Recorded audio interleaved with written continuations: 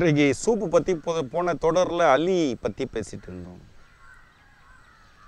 ஒரு குடும்பத்தில் ஒரு பெண் என்பவள் எப்படி சுத்தமாக தன் வீட்டை பராமரிக்கிறாளோ அதுபோல தன் தேகத்தை பராமரிக்கிறதுல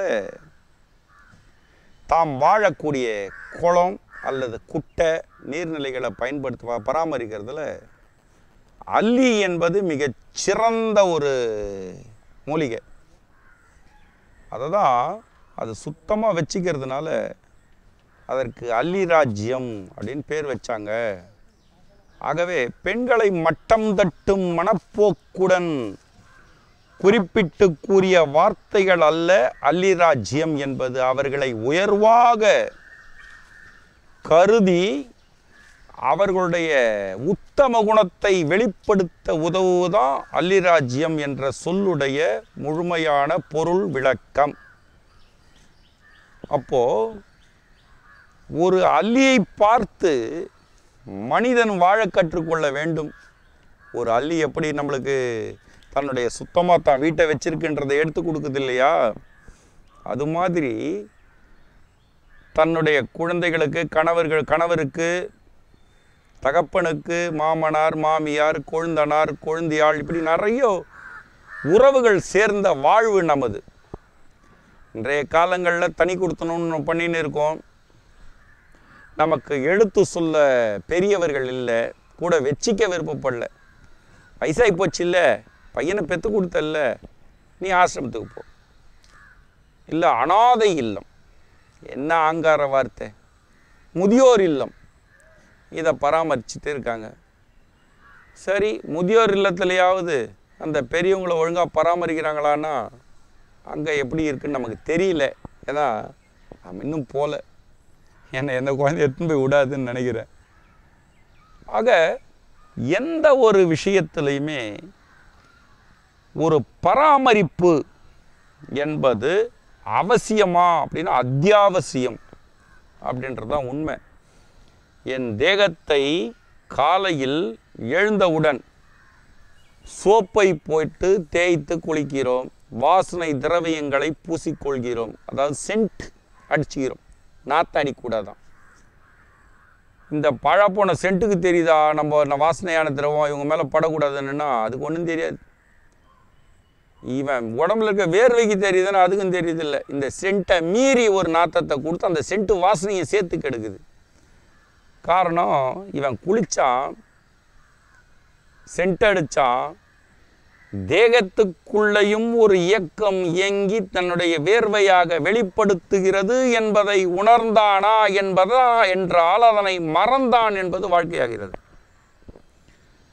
அப்போ தேகத்தை சுத்தமாக வச்சுக்கிறதுக்கு இவனுக்கு தெரியல. தேகம் என்பது புறத்தால் இயங்கும் இயக்கம்னு நினைக்கிறான். அகத்தின் வெளிப்பாடுன்றது இவனுக்கு புரியல. உள்ளே இருக்கிறதுக்கு அகம்னு பேர் இது வெளி இருந்தால் புறம். இந்த புறத்துக்கு மேலே இருந்து வெளி அப்படின்னு பேர். இதில் வெளி பொட்டல் வெளி பறவெளி வெட்ட வெளி இப்படி போயினே இருக்கும் வெளி. ஆனால் அகம் என்பது தேகத்தின் உள்ளியக்கமும் புறன் புறம் என்பது வெளி இயக்கத்தையும் குறிப்பிடுறது. தேவையான உஷ்ணம் உடம்புல இருந்தாதான் நோய் வராது. அந்த உஷ்ணத்தை எப்படி உருவாக்குவது அப்படின்னும் போது நான் வயிற்றுக்கு சாப்பிட மாட்டேன். உஷ்ணம் வந்துடுமா நோய் வரும். நான் கண்ட மூலிகையெல்லாம் சாப்பிட்டு என் தேகத்தை பார்த்துக்குவேன். தேகத்தை பார்த்துக்குவையா? நோய் வரும். எந்த மூலிகையுமே பயன் நோய் என்று வந்தால் அதை பயன்படுத்துவதில் தவறில்லை. நோயே இல்லாத இடத்துல இவன் மூலிகையை பயன்படுத்தினா என்ன ஆகும்னா நோயாயிடும். எது உனக்கு மருந்து எது உனக்கு விருந்து எது உனக்கு மறு உணவுன்றது புரியணும். கண்டதெல்லாம் உணவாகாது. கண்டதெல்லாம் மருந்தாகாது. கண்டதெல்லாம் உண் கண்டதெல்லாம் விருந்தும் ஆகாது. எனவே இந்த தேக பராமரிப்பு அப்படின்ற இடத்துல நாம் உண்ணக்கூடிய மூலிகைகள் எது எது எவ்வளோ எவ்வளோ அளவில் எப்படி எப்படி வா இருக்கணுன்றதை மட்டும்தான் மருத்துவம் போதிக்கிறது. இந்த மருத்துவத்துக்கு காலேஜ் வச்சோ ஒரு ஒரு கிளாஸ் எடுத்தோ இதை வெளிப்படுத்த முடியாது. வீட்டில் ஒரு சமையல் பண்ணுறோம் சமையல் பண்ணுறது எப்படின்னு கேட்டிங்கன்னா நம்முடைய சட்டங்கள் கூறும் பாதை. இன்றைக்கு ஒரு பொருளை தனித்து நீங்கள் விற்கலாம் அதாவது சுக்கு அப்படின்னு ஒன்று எடுத்தால் அதை விற்கலாம் மிளகு விற்கலாம் திப்பில்லி விற்கலாம் கடுக்காய் விற்கலாம் அரிசி விற்கலாம் மிளகாய். மஞ்சள் பொடி. எதையுமே நீங்கள் விற்கலாம் அதை தனித்து பயன்படுத்துறதுக்கும் உங்களுக்கு ரைட்ஸ் இருக்குது. ஆனால் கலந்து பயன்படுத்தினா அது அப்பன்ஸ் குற்றம். ஒரு மூலிகையை கூட தனிச்சா நம்ம யாருக்காவது சாப்பிட்டுப்பான் சுக்கு குடி கொடுக்கலாம். ஆனால் சுக்கையும் மிளகையும் சேர்த்து கொடுத்தா அது சட்டவிரோதம். இது சட்டம் கூறும் பாதை. உணவுன்னு எடுத்தீங்கன்னா உங்கள் வீட்டில் பொண்டாட்டி சமைக்கிறாங்க பார்த்தீங்களா அரிசியை கழுவி குக்கரில் வச்சோ இல்லை ஸ்டவ்வில் வெடிச்சோ இல்லை பானையில் வெடிச்சோ கொடுக்குறாங்க. அது சட்டத்திற்கு உகந்தது. அது கூட நீங்கள் உப்பு சேர்த்தாலோ பருப்பு சேர்த்தாலோ குற்றமாயிடும். கலக்கக்கூடாது. தனித்தனியாக கொடுக்கலான்றா சட்டம் கூறும் பாதை. கலந்தால் அது மருந்தாயிடுமா? உங்கள் பொண்டாட்டி மேலே நீங்கள் துணிஞ்சு கேஸ் போடலாம். நீ எனக்கு வந்து சாம்பாரில் மிளகுத்தூள் போட்ட மிளகாத்தூள் போட்ட உப்பு போட்ட புளி போட்ட காய்கறி வேக வச்சு கொடுத்துட்டு எல்லாத்தையும் கலந்து எனக்கு கொடுத்தா சட்டம் கே கேஸ் போடலாம் பொண்டாட்டி மேலே. ஏன்னா ஜெயிலில் வைக்கலாம் அதிகம். யாராவது செய்வாங்களா? அதே விஷயத்த இந்தாங்க இந்த அரிசி சாப்பிடு. இந்த சாப்பாடு சாப்பிடு. உப்பு போட உப்பு தனியாக வச்சுட்டு காயை தனியாக வச்சுட்டு எல்லாம் தனியாக வச்சு சாப்பிட்டு நான் சாப்பிடுவானே? டிவைஸ் தான் நடக்கும். ஏற்கனவே நடந்துருக்குது பத்தாது. எல்லாம் பிச்சுன்னு போடுங்க. ஒருத்தனும் ஒருத்தனை நம்ப மாட்டான். ஆக எந்த ஒரு விஷயத்தையும் கலப்பு இன்றி வாழ்வது கடினம். வெறும் காற்றை மட்டும்தான் சுவாசம் பண்ணி வாழணும் அப்படின்னு ஒரு மனுஷனுக்கு ஒரு கட்டளை போட்டா. வெறும் தண்ணியை மட்டும்தான் குடிக்கணும் அப்படின்னு அவனுக்கு கட்டளை போட்டா. தரையில் மட்டும்தான் நடக்கணும்னு கட்டளை போட்டா. காற்றுல மட்டும்தான் மிதக்கணும்னு கட்டளை போட்டா இவனால் வாழ முடியுமா? ஐந்தும் கலந்தால் தானே இந்த இயக்கம். இந்த இயக்கத்துக்கு தேவையானது எது? இந்த உடம்பில் உடம்புல யார் மேலே கேஸ் போடுவீங்க? உடம்புல பஞ்சபூதம்ன்ற இடத்துல உடம்பு மண்ணாக இருக்குது உள்ளே இருக்க நீர் ரத்தமாக இருக்குது அதில் உஷ்ணம் இருக்குது வெளியிலேருந்து வர காற்று சுவாசமாகுது நினைவு செயல்படுகிறது. அஞ்சும் கலந்தால் தான் இந்த உடம்பே. இந்த அஞ்சியம் கலந்திருக்கக்கூடாதுன்னு படைத்த ஆண்டவன் மீது கேஸ் போடுவியா? பெற்றெடுத்த தாய் தந்தை மீது கேஸ் போடுவியா? காற்றின் மீது போடுவியா? மண்ணு மேலே போடுவியா? தண்ணி மேலே போடுவியா? மருத்துவம் அழி மருத்துவத்தை அழித்த நிலை இது. நம்ம உணவை மட்டுமே கூறுகிறோம். இது தவறா. இப்படியெல்லாம் சில விஷயங்கள் இருக்குது இதை பற்றி ரொம்ப டெப்த்தாக அலச வேண்டாம். இது பயன்படாது. ஆனால் தெரிஞ்சிக்க வேண்டியது. ஆக ஒரு தேகத்தை பராமரிப்பது என்பதற்கு எல்லாம் சேர்ந்தாதான் எல்லாத்துலேயும் எல்லாம் இருக்குது பஞ்சபூதமும் பஞ்ச ப- எல்லா பொருளையும் இருக்குது அதை பயன்படுத்துறதுக்கான பாதையை தான் நம்ம சொல்கிறோம் இன்றைக்கு பார்த்திங்கன்னா பல விஷயங்கள் பல பேருடைய இயலாமை இதெல்லாம் எதனால் உருவாகுதுன்னு பார்த்தா ஒன்றை தவறாக புரிந்து கொண்ட காரணத்தால் உருவாகிறது. மூலிகைனால இன்றைக்கு கூட ரெண்டு பேர் வந்திருந்தாங்க. கொஞ்சம் சிரியாண்டங்கைன்னு சொல்லக்கூடிய நிலவேம்பை கொடுத்தோம். மூஞ்சை சுழிச்சிட்டு துப்பத்துக்கு போகிறார் அவருடைய மகத்துவம் தெரியல. ஏன்னா அது கசக்குது. உன்னுடைய பிறப்பில் உருவாகக்கூடிய விந்து எவ்வளோ கசப்பு தெரியுமா? சுக்லமும் ஸ்ரோனிதம் சேர்ந்தால் கசப்பு. சுக்லம் மட்டும் தனியாக இருந்தால் தோற்பு. சுரோனிதம் தனியாக இருந்தால் ஒரு மாதிரியான உவர்ப்புன்னுவாங்களே அந்த நிலையை சேர்ந்து சேர்ந்தா கசப்பு. இதுதான் உண்மை. இந்த எச்சி இருக்க நாக்கில் சுரக்கிற எச்சி அதை வச்சு தெரிஞ்சுக்கலாம். எச்சல்னு சொல்கிறோமே இந்த உமிழ்நீரை வச்சு தெரிஞ்சுக்கலாம் இது. நம்முடைய விந்து என்பது உமிழ்நீர் தான். இன்றைக்கி பார்க்க போட்டு பூ ரோடெல்லாம் காலி பண்ணுதுங்க பசங்க. அது வேறு இந்த பார்க்க நேருக்கு நேராக வாய் இப்போ திறக்க முடியல. ஏன்னா வாய் சின்னதாக போச்சு. அதனால் வச்சுன்னு வாயில் போட்டு ஓரத்துக்கு அனுப்பிச்சு இப்படி வச்சு போட்டு சில பசங்களை பார்த்து இந்த விரலை வச்சு இதெல்லாம் என்ன பழக்கம்னே புரியல. உன்னுடைய விந்துப்பாது உன் எச்சி அதுதான் உனக்கு விந்தாக்கி கொடுக்குது. விந்தை சுத்தப்படுத்துறது எச்சல் தான். அதை துப்புற நீ. க- கடைசி காலத்தில் ஒரு ஒரு கல்யாணம் ஆனதுக்கப்புறம் குழந்தை இல்லை. டாக்டர் கிட்ட போ. அவர் என்ன பண்ணுவார்? இந்த எச்சியை உருவாக்குறதுக்கு மருந்து கொடுப்பார். எச்சி எவ்வளவுக்கு எவ்வளோ சுத்தமாக இருக்கோ அவ்வளவுக்கு எவ்வளோ உன்னுடைய வித்து சுத்தமாக இருக்கும். உனக்கு புரியுதா? அப்படின்னா இல்லை. சரி போ. உனக்கு சொன்னால் புரியாது. புரிகிற காலத்தில் எதுவும் பயன்படாது. இந்த உடம்புக்கு தேவையான இந்த நீர் சுரப்பிகளை சமன்படுத்தி கொடுக்கறதுக்கு என்னென்ன பண்ணலாம்? அப்படின்னும் போது நமக்கு பல வகையான நிலைகளில் சூப்புன்னு சொல்கிறத கொடுக்குறாங்க. முடக்கருத்தான் சூப் தூதுவேளை சூப். இப்படி பல சூப்பு தொடர்ந்து குடித்தா முட்டு வரி போயிடுமா? அது எப்படி போகும்? ஒரு மருந்து என்பது எப்போதோ பயன்படுத்தினாலும் அந்த மருந்து மூலிகைகளை பயன்படுத்துறது தப்பு கிடையாது. ஆனால் தொடர்ந்து எதையும் பயன்படுத்தாதீங்கன்னு தான் நாங்கள் சொல்கிறோம் முடக்கருத்தான் அப்படின்றத கொதிக்க வச்சு சாறு வடித்து ஒரு நாளைக்கு குடிக்கலாம். அடுத்த ஒரு பத்து நாளைக்கு அதை தொடாதீங்க. தொடர்ந்து குடித்தா அதுவே நோயாக மாறும். தூது வேலைன்னு எடுத்தீங்கன்னா ஒரு ஒரு நாளைக்கு ஒரு தரம் சாப்பிடுங்க பத்து நாளைக்கு அப்புறமா அதை சாப்பிடுங்க. மூலிகைகள் நம்ம சுற்றி நிறைய இருக்குது ஒரு நாளைக்கு ஒரு தரம் சாப்பிட்டா போதும்.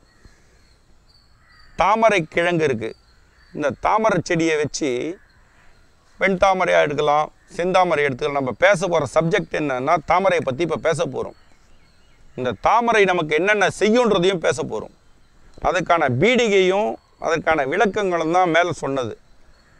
தாமரையை எந்த பகுதியை வேணாலும் பயன்படுத்தலாம். எப்படி வேணாலும் பயன்படுத்தலாம். கெடுக்காது. உடம்ப. செந்தாமரை என்பது இருதயத்தை பலமளிக்கக்கூடியது. இருதயத்திற்கு பலமளிக்கக்கூடியது. ரத்தத்தை சுத்த செய்யக்கூடியது. உங்களுடைய இருதய பகுதியை காக்க வல்லது. அதே போல் வெண்தாமரை. வெண்தாமரை எடுத்தீங்கன்னா வெண்தாமரையில் எந்த பகுதியை எப்படி வேணாலும் பயன்படுத்தலாம். இலையை மேய வேண்டாம். இலையை சாப்பாட்டுக்கு பயன்படுத்தலாம். பூவை சொல்கிறேன் அதில் இருக்க காயை சொல்கிறேன் அதில் இருக்கக்கூடிய இருக்கக்கூடிய விதைகளை சொல்கிறேன் தாமரை விதையை மாலையாக கோத்து கழுத்தில் போட்டால் காம இச்சை கட்டுப்படும்.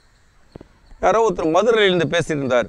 ஐயா எனக்கு ஐம்பது வயசு ஆகுதுங்கன்னாரு. சொல்லுங்க அண்ணன் என் மனைவி இல்லைங்க. சரிங்க. ஆனால் காம இச்சை அதிகமாக இருந்துகிட்டே இருக்குது எனக்கு ரொம்ப முடியல அப்படின்னு சொன்னால் சுத்தமாக வாழணும்னு ஆசைப்பட்றேன்னார். ஒன்றும் சொல்லலை. தாமரை மணியை நல்லா திக்காக வாங்கி கழுத்தில் போட்டுங்க காம இச்சை தன்னால் அடங்கிடும். தாமரை மணி கட்டாதீங்க அதை போட்டுட்டு கழுத்தில் போட்டுட்டு நீங்கள் பாட்டுக்கு போயிட்டே இருக்கலாம்.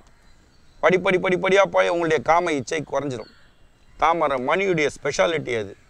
அதே விதையை கூட்டு மருந்துகளாக சேர்த்து உண்ணும்போது காம இச்சையை பெருக்கக்கூடியதாக இருக்குது கழுத்தில் இருக்கும்பொழுது காம இச்சையை குறைக்கிறது உள்ளுக்கு எடுக்கும்போது அது காம இச்சையை பெருக்குகிறது. கூட்டு மருந்தாக இருந்தால் தனிச்சையாக இல்லை. தனிச்சா கூலி கூலிங் தான் பண்ணும்.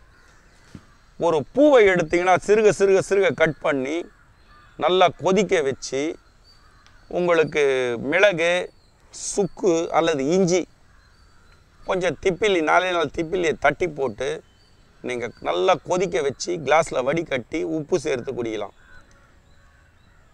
அல்லது பனங்கற்கண்டு. திருப்பி திருப்பி சொல்கிறேன் சர்க்கரை வேண்டாம் பனங்கற்கண்டை நிறைய பயன்படுத்துங்க. பனை பனை மரம் சார்ந்த எதையுமே நல்லா பயன்படுத்துறதுன்றது தான் இன்றைக்கி நம்ம ஒரு உடலுக்கு ஆரோக்கியமானது. சர்க்கரை கரும்பிலிருந்து எடுக்கப்பட்டாலும் அது கூட தேவையற்ற அந்த வெள்ளையாக்கிறதுக்காக அதை பாலிஷ் பண்ணுறாங்க அதில் விஷம் சேருதுன்றது விஞ்ஞான நிரூபணம். இது நான் சொல்லலை. ஆனால் பனை மரத்துடைய சாரை நேராக வெடித்து காய்ச்சி அதை வெள்ளமாகவோ கற்கண்டாகவோ பனை பணம் சர்க்கரையாக ஏதோ ஒரு ரூபத்தில் எந்த ரூபத்தில் வேணாலும் நீங்கள் பணம் கற்கண்டை யூஸ் பண்ணலாம். அந்த பனைமரத்துடைய தன்மைகள் இதில் வெள்ளை பனம்பழம் இருக்குது சாதா பனம்பழம் இருக்குது வெள்ளைப்பழம் வந்து ரொம்ப விசேஷமானது. கொஞ்சம் அதுக்கான வேல்யூ ஜாஸ்தியானது. பனைமரத்தை இன்றைக்கி வெட்டி தள்ளுறோம். ஒரு தென்னை மரம் கெட்டு அழிஞ்சா கூட மண்ணை உதுக்கும் பனை மரத்தை அற அந்த வாசல் அந்த காலத்தில் வச்சுருப்பாங்க. பார்த்தீங்கன்னா நூறு வருஷம் கூட அது உறுதியாக நிற்கும் அவ்வளவு ஒரு வலிமை வாய்ந்தது இந்த பனைமரம் அந்த பனைமரத்துலேருந்து கிடைக்கக்கூடிய பொருட்களை நீங்கள் உள்ளுக்கு எடுத்துக்கலாம். அப்போ பனை வெள்ளத்தையோ அல்லது சர்க்கரையையோ கூட்டி நன்கு அந்த தாமரையை கொதிக்க வச்சு அதை சாறு வடித்து சாப்பிடலாம். மகாலட்சுமி குடிகொண்ட இடம் என்பது செந்தாமரையும். சரஸ்வதி குடியுண்ட இடம் என்பது வெண்தாமரையும் குறிக்கக்கூடியது. வெண்தாமரை நாம் அறிவிற்கான ஒரு ஆற்றலை அளிப்பது வெண்தாமரையுடைய தனித்தன்மை. மகாலட்சுமின்ற இடத்துல இருதயத்தில் தான் இருக்கும் அது. மகாவிஷ்ணுடைய இருதயத்தில் இருப்பாங்க இந்த அம்மாவுடைய இருதயத்தில் மகாவிஷ்ணு இருப்பார். அந்த மகா அந்த செந்தாமரை வந்து இருதயத்துக்கு தேவையான பலத்தை கொடுக்கறதுல மிக அற்புதமான மூலிகை. இருதயத்திற்கு சக்கரை தேவையான உப்பு போதும். வெள்ளைக்கு வெள்ளத்தாமரைக்கு உங்களுக்கு தேவையான அந்த பனங்கற்கண்டு போதும். அறிவு என்பது ஒன்றை பார்த்த மாத்திரத்தில் பிடித்து வைத்துக்கொண்டு இயங்குவது. அது அடுத்த இடத்துல தான் இருக்குது எதிரில் இருக்கிறது இருக்கிறத புரிஞ்சிக்கிறது தான் அறிவு. உங்களுக்குள்ளே இல்லை உங்களுக்குள்ளே இருக்கிறது ஆற்றல். அறிவாளிகளே அப்படின்னும் போது பார்த்ததை பார்த்த மாத்திரத்தில் பிடித்து வைத்து கொண்டவர்களேன்னு அர்த்தம். உள்ளே வாங்கினவங்க உள்ளே வாங்கிட்டவங்க அப்சர்வ் பண்ணிக்கினவங்கன்னு அர்த்தம். ஆற்றல் உனக்கு இருந்தால் தான் அது ஏறும். அந்த ஆற்றல் இல்லாத இடத்துல அறிவும் வீணாகும். வீணான அறிவை மீட்டு கொடுப்பதில் முதலிடம் வகிப்பது வெண்தாமரை இன்னைக்கு படிக்காத குழந்தைங்களுக்கு கொடுங்க. வெள்ளத்தாமரை பாருங்கள் எங்கே வேணாலும் கிடைக்கும். வெறும் வெறும் நம்ம சும்மா இப்போ அள்ளியை சாப்பிட்டு காமிச்ச மாதிரி அனாவசியமாக சாப்பிடலாம். எந்த விதமான பக்க வித உபாதைகளையும் கொடுக்காது. குழந்தைங்களுக்கு கொடுங்க. சூப் வச்சு கொடுங்க. சின்ன சின்ன இந்த வாழைப்பூவை பொரியல் செய்து கொடுப்பாங்க பாருங்கள் அந்த மாதிரி ஒரு பத்து தாமரை பூ வாங்கி நல்லா வெந்நீர் தண்ணி வச்சு மஞ்சள் தூளை போட்டுட்டு வெந்நீர் தண்ணியில் அலசுனீங்கன்னா அது மேலே இருக்க குட்டி குட்டி பூச்செல்லாம் செத்து போயிடும். உதறி எடுத்துகிட்டு சின்ன சின்னதாக வெட்டி பொரியல் செய்து கொடுங்க. சூப்பு போட்டு கொடுங்க. இன்றைக்கி அந்த தாமரைப்பூக்கு வந்த வாழ்வு ஒரு பூ இருபத்தஞ்சு ரூபான்றான் சமயத்தில். ஏன்னா வாங்கி என்ன பண்ணுறேன்னா கோவிலுக்கு கொண்டு போய் கொடுக்குறான். அது மேலே வச்சுட்டு கீழே தூக்கி போட்டுறாங்க. அதுக்கு ஐயா அவங்களுக்கு கோவிலை கட்டி கொடுத்தாங்க. சரஸ்வதி கோவிலுக்கு வெள்ளை தாமரையோட போ மகாலட்சுமி கோவிலுக்கு செ சிகப்பு தாமரையை போடு அப்படின்னு சொல்லிட்டு அந்த சிலை மேலே வச்சுட்டு வரத்துக்கு வச்சுட்டு தூக்கி போகிறதுக்கு தாமரை? இதை சாப்பிடுப்பா உனக்கு நல்லா ஆகிடுன்றதுக்காக தாமரை. நீ கோவிலுக்கு போகிறத தடுக்கலை அது குறை சொல்லலை. ஆனால் கோவில் என்பது எதற்காக போகிறாய் என்ற பார்க்கும்போது ஒரு பூவை எதற்கு அதற்காக அந்த கடவுளுக்கு கொடுக்குற? கடவுள் வாங்கி கூந்தலில் வச்சுக்க முடியுமா? தாமரை பூ வச்சு அழகு பார்த்தவன் யாரையா பார்த்துருக்கீங்களா? உள்ளுக்கு எடுத்துக்கப்பா. உடம்பு சரியாக போகும். மூளை பலமடையும். படிக்காத குழந்தைகள் படிக்கும். இருதய நோய் வராது. இந்த மருத மரத்தை மரத்தை பற்றி ஒரு தரம் பேசிகிட்டு இருந்தோம். மருதம் பட்ட சாறு அவ்வளோ மகத்தான குணமுடையது இருதயத்தில் இருக்கக்கூடிய கெட்ட அணுக்களை நீக்கக்கூடியதுன்னு. அதே போல தான் அந்த தாமரைப்பூ. மருத மரம் கிடைக்காதவங்க தாமரைப்பூ தெரியும் எல்லாருக்குமே. மருத மரம் தான் கஷ்டம் பார்க்கறது தாமரைப்பூக்கு ஐடென்டிஃபிகேஷன் பண்ண க புரிஞ்சுக்கிறது கஷ்டம். தாமரைப்பூ யாருக்குமே தெரியும். செந்தாமரை கறி சமைச்சு கொடுங்க. சின்ன சின்னதாக வெட்டி அந்த வாழைப்பூ மாதிரி நீங்கள் என்ன வேணால் சேர்த்து சமையல் பண்ணி கொடுங்க. உள்ளுக்கு எடுக்கட்டும். அது என்ன சுவை இருக்குன்னு பாருங்கள் ஒரு தரம் சமையல் பண்ணால் கஷ்டமாக இருக்கும். நாலு தரம் சமையல் பண்ணால் சுவை கூட்ட தெரியும். நமக்கு அறிவு வந்துடும் செந்தாமரையை உண்டு வந்தோம்னா இருதயத்தில் மட்டும் இல்லை உடம்புல இருதயம் என்பது நமக்கு ஒரு பகுதி இல்லை. உடம்புல ஓடுற ரத்த அணுக்களுக்கு எல்லாத்துக்கும் இருதயம் உண்டு. நம்ம உடம்புலேருந்து வெளிப்படுற விந்துக்கும் ரத்த அணுக்கள் உண்டு இருதயம் உண்டு. அதுக்கு எல்லா பொருளும் உண்டு. அதனால தான் அது நம்மளை உருவாக்குது. ஒரு விந்து ஒன்றும் இல்லாத போய் தாய் கர்ப்பத்தில் குடியேறி நம்மளை உருவாக்கலை. அதுக்கு கிட்னி இருக்குது சிறுமூளை இருக்குது பெருமூளை இருக்குது நரம்பு மண்டலம் இருக்குது சுவாசப்பை இருக்குது பித்தப்பை இருக்குது விந்துப்பை இருக்குது கர்ப்பப்பை இருக்குது சித்தப்பை இருக்குது இதுக்கு மேலே எல்லாத்துலையும் சேர்ந்து குண்டலியும் இருக்குது அது கூட. அந்த குண்டலின்ற சக்தி தான் இந்த தேகத்தை படைக்க இந்த தேகம் முழு வளர்ச்சி பரிணாமம் கண்டு வெளிவரும்போது இதுவும் குண்டலி சக்தியோடு தான் இயங்குது.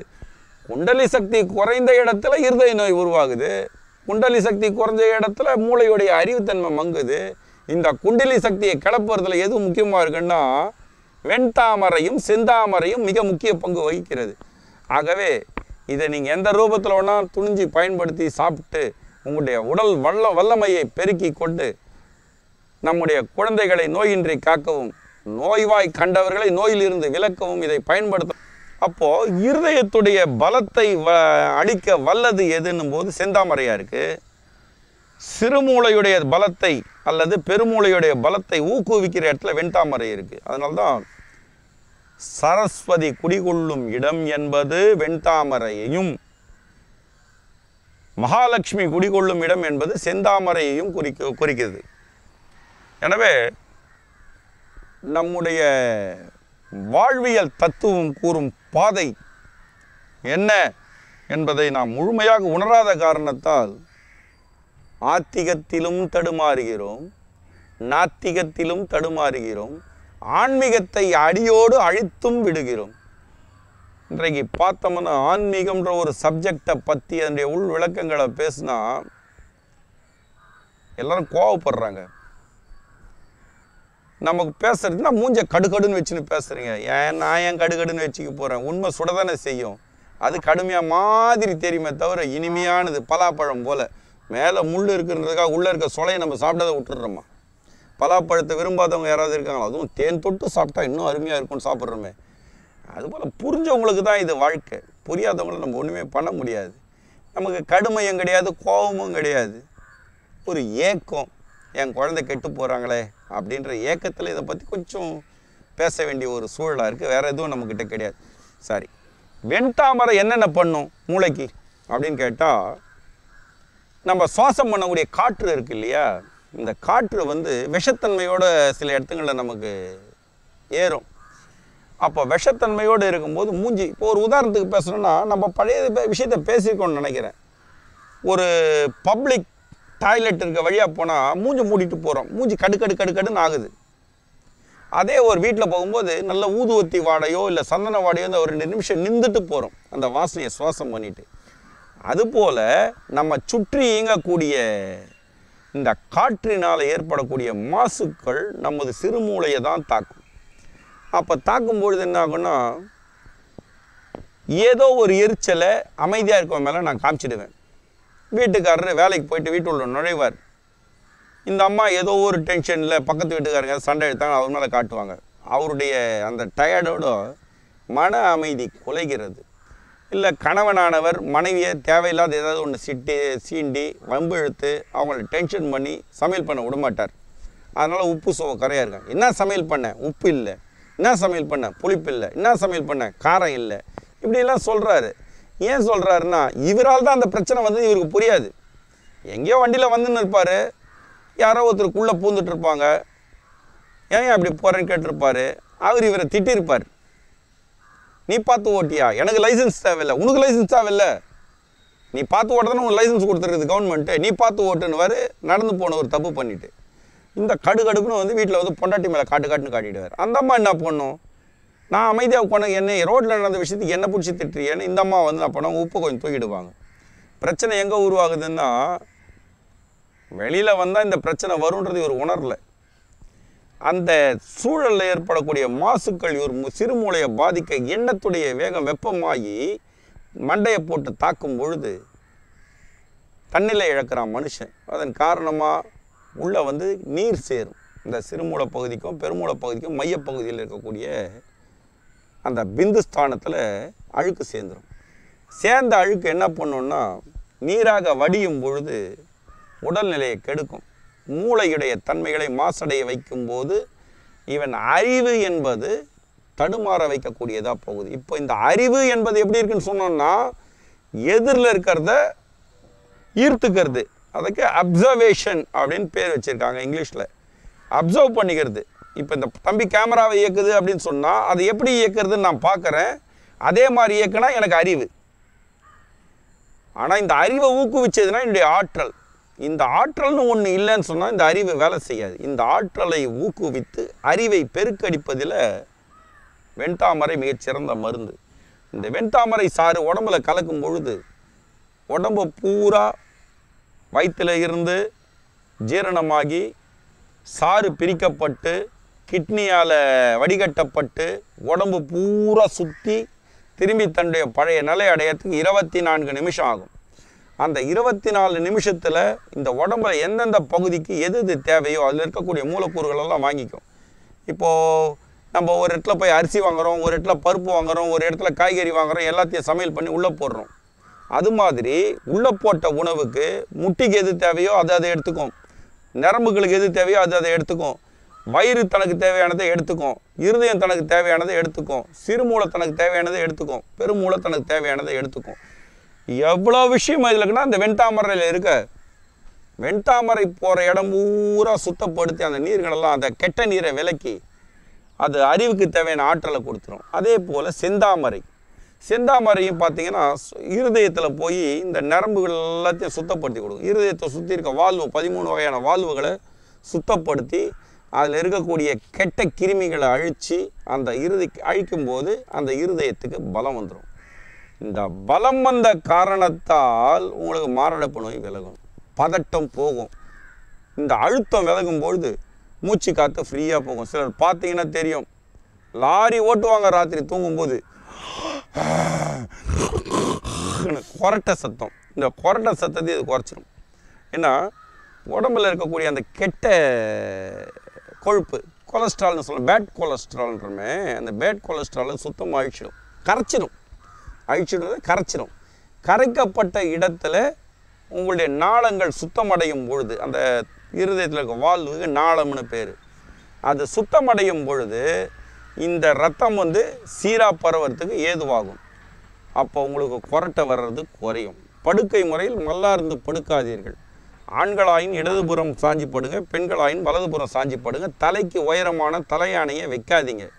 இது உடம்புல குரட்டை அதிகமாக்கும் கொழுப்புகள் அதிகமாக்கும் நம்முடைய தூக்கத்தை பக்கத்தில் இருக்கும் தூக்கத்தை கெடுக்கும். முக்கியமாக நம்ம தூக்கம் கிடையாது நம்ம விடுற குரட்டையில் மற்றவங்களாம் ஏந்து ஓடி போயிடுவாங்க.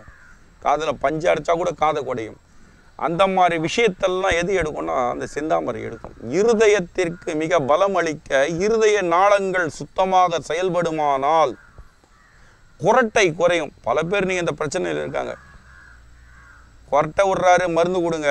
அதுக்கு இப்போ கூட சமீப காலத்தில் ஏதோ ஒரு வைத்தியத்தில் மூக்கு மேலே ஒரு கிளிப்பு போட்டு கொரட்டையை குறைக்கிறேன்னா அதுவும் சக்ஸஸ் ஆகலை போல் இருக்குது. இப்போ அது வெளியே வரல. அதனால் இந்த கொரட்டையை குறிக்கிறதுக்கு குறைக்கிறதுக்கும் இருதயத்தை பலப்படுத்துறதுக்கும் மூளையுடைய செயலாக்கத்தை சீர்படுத்துவதற்கும் நம்ம செய்ய வேண்டிய முதல் முதற் காரியம் எது அப்படின்னு பார்த்தீங்கன்னா செந்தாமரையையும் வெண்தாமரையையும். ஒரு நாளைக்கு ஒன்று ரெண்டையும் ஒன்றா போட்டு மிக்ஸ் பண்ணாதீங்க நீங்கள் தான் சொன்னீங்கன்னு கேட்காதீங்க. தனித்தனியாக பயன்படுத்துங்க.